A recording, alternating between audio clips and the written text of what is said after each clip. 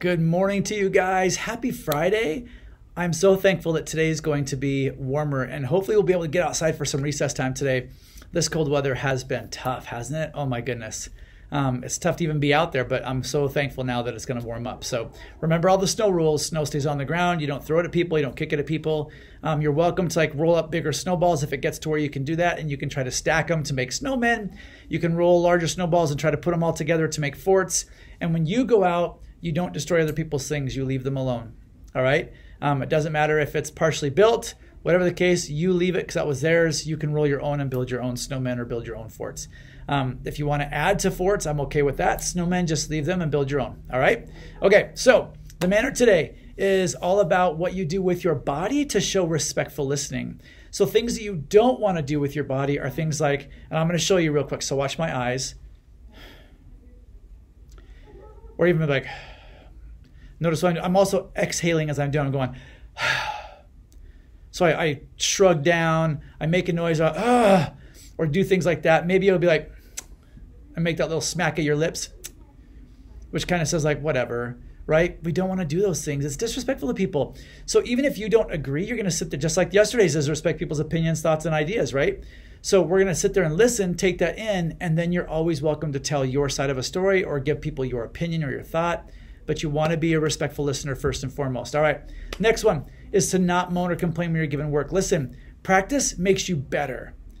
And if you can practice perfectly, that's going to make you be able to do things perfectly.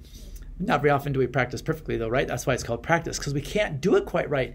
So at school, it's the same way as if you're trying to learn how to ride a scooter, ride a skateboard, do some dance, play piano, play any kind of instrument. Anything that you're learning to do, you're going to make mistakes.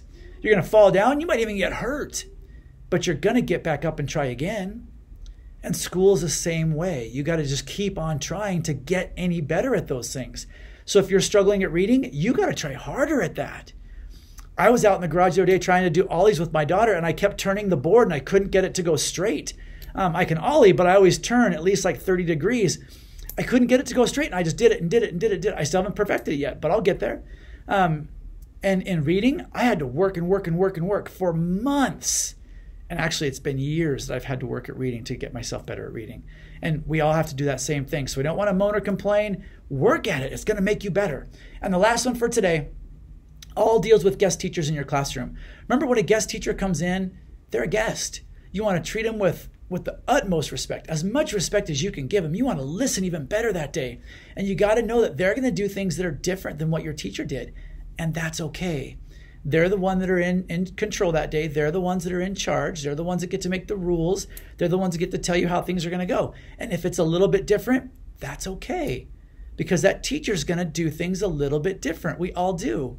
So let them do that. Take a breath. It will be okay. But the same rules still apply for school.